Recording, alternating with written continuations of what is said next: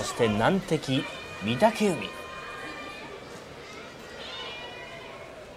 軍配が返りました。御嶽海と若元春。元大関と大関を狙う若元春です。ゆっくりと仕切って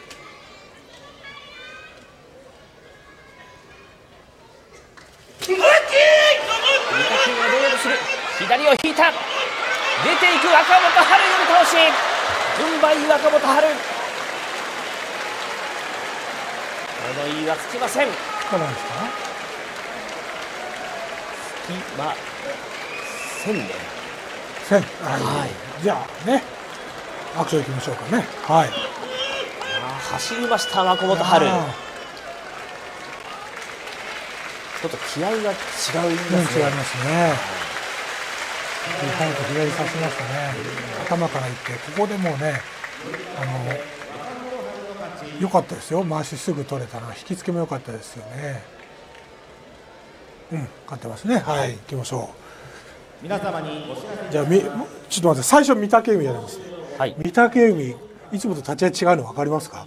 いつもはこうなんですけど今日はもう脇締めといてこうやってもう当たる立ち合いでいたんですよ。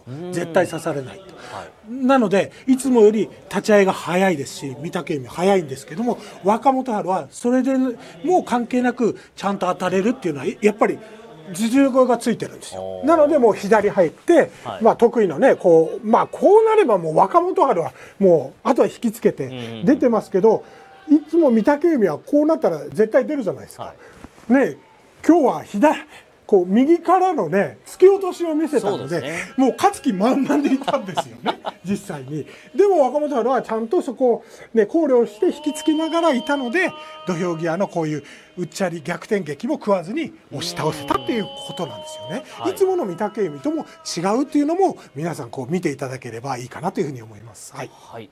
御嶽海自身も決して悪い悪くないです。ねそうなんです。はいここ当たってるじゃないですか。いつも当たってない。当たい。い時は当たるんですけどね。ただここ刺されましたよね、はい。ここ引きつけられると大体僕は力抜いて怒るんですよね御嶽海は。でもこれ見てください。最後までこう諦められない諦めないじゃないですか。はい。こういう相撲を御嶽海取ってもらいたいですよね。今日は負けましたよ。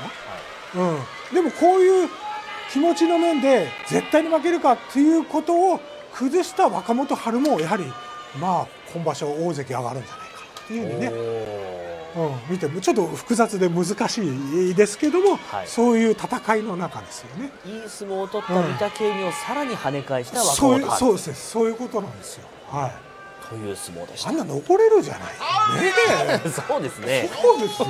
やらないと全部。